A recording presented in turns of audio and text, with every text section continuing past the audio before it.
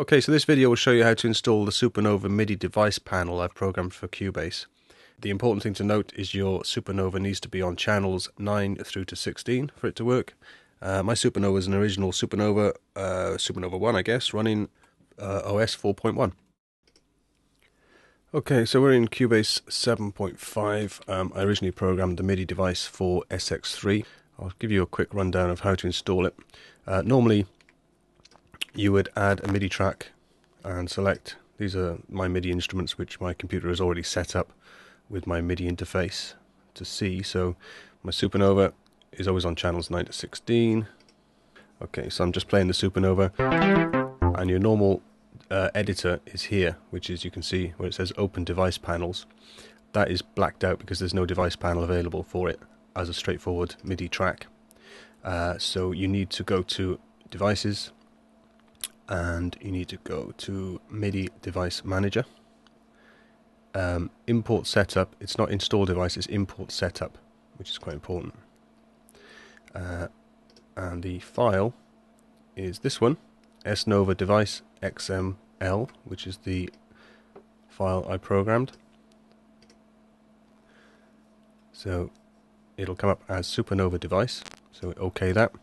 And then assign it so I'll make sure it's assigned to the supernova, which is the output. It depends whatever you've called your supernova in, in Cubase or on your computer. Uh, that's it basically. So you do that, and then this time, as well as having your normal MIDI instruments, you've also got supernova device. Click on that. And now this panel here is now grey, so you can select it. If you go to channel 8, it'll be black again. It has to be channel 9 to 16. Click on that, and that's the actual device. So now you can tweak away.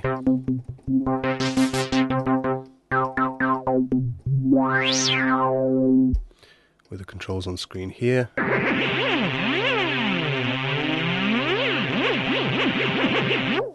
And the great thing is, is that you can actually record any changes you make. Oh, lost it. There it is. Um, with the write and read automation button. So if I click on write automation, straight away you get a MIDI device automation channel lane coming up on your sequence. So if I record a part now, let's turn the click off. Okay. Make some changes.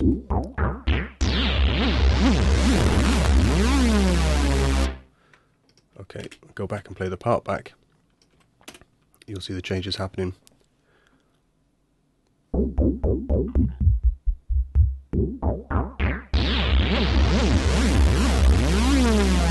Just as I played them basically. And then you can hear that for instance was the filter cutoff frequency changes I just made. So now you can fine tune those uh, just switch off the snap. You can you can actually edit the changes you've made and that will now still correspond when you go back to the edit page itself. Those changes will still correspond to those on the screen there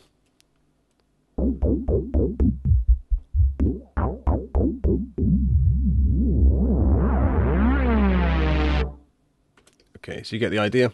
So that's it, really, really simple. Uh, my email address is now on the screen. Uh, it's $15 for your copy. Just send me an email and I can send an email back with the file attached. It's a, quite a small file to import. Um, uh, hope you enjoy it. Thanks a lot.